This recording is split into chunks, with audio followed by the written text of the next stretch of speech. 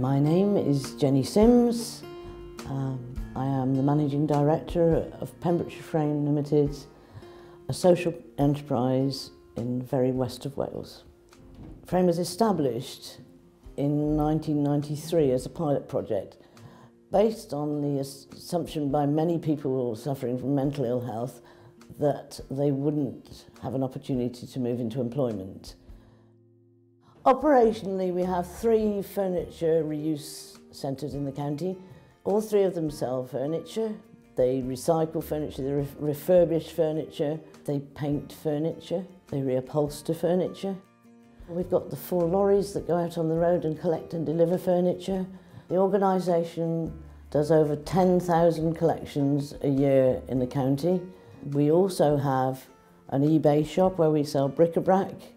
We have the Woodland Project, which chops down trees, chops them into logs, planks, sends some of them to the mill. They make gates, fences, and you have to remember that everything is associated with training. It was amazingly easy to get the idea off the ground in the first place. Basically, we just borrowed somebody's van and put a little advert in the paper free and we did it. We collected furniture and we gave it away to people who needed it. It was much more difficult when you went to put structure around it.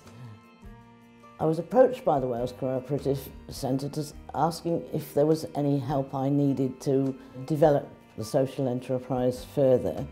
And at that point in time, we had a whole batch of policies and procedures all written in different styles at different points in the life of the organisation. And they agreed to work with us putting all those policies and procedures into the same format and making sure they were all right up to date, which for me would have been hours and uh, hours and months of work.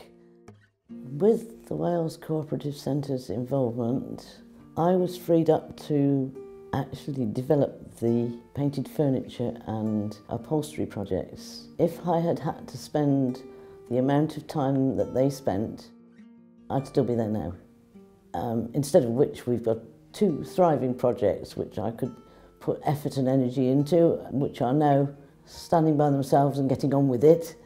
And I'm now looking at other projects which I can develop. We have something in the order of 40 members of staff now.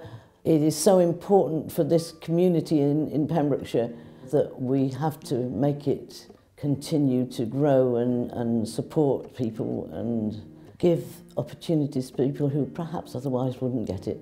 It's an holistic project. Everybody gets something out of it. The whole community gets something one way or another.